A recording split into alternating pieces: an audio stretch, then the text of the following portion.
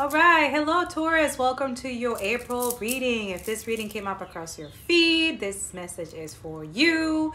Uh, there is going to be an ascendant in the description below for the next six months for you guys. So if you want to check out your what's going on with your energy field, but other than that, there's a message, important message that Spirit wants to let you know, your angels and ancestors right now. So let's tap right in. Yes. All right, Taurus. So I see in the month of April you're walking away from no longer serve you, okay, which is good. You're literally making a decision, something from the past, something that it wasn't helpful, especially maybe a limited belief about money or how to create some type of money. Maybe you're saving up right now. This is good energy, okay? There's good news. This could be a new job or maybe a pay raise or something like that. This is good. But there's something that your angels are trying to let you know to cut the cord with something. Um, this could be addictions because they keep saying clear away, shield yourself, and focus on service, okay?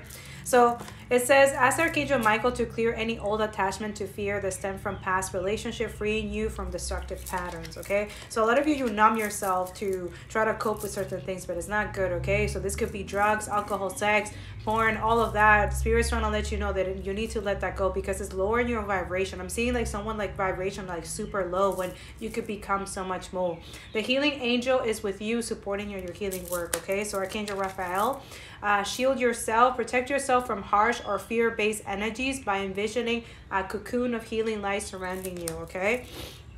So heal away addictions. It's time to let go of behavior that are blocking you from your heart's desire. Ask Archangel Raphael to help you with this healing. So Archangel Raphael is heavily in this energy, okay, or in your field right now, helping you with something from the past, okay?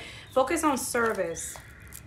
So something about show the world the real you, be authentic. A fairy climax approaches. So this uh, solar, um, that astrology update could be significant for you, uh, Taurus could be dealing with a cancer, okay? But it's something about this solar eclipse is going to be significant for you, okay?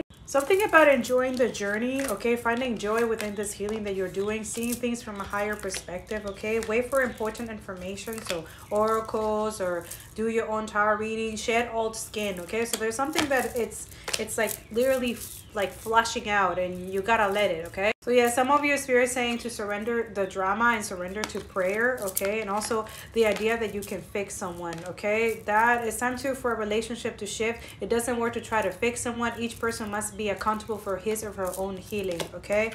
There's someone in your field, they're trying to create drama, okay? No matter how emotionally charged the situation, remain calm and don't contribute to the drama. Staying center will help resolve the issue more quickly and surrender to prayer, okay? Give yourself over completely to prayer. When you pray from your heart, you will be heard throughout the universe and the answers and support will arrive, okay? Hope this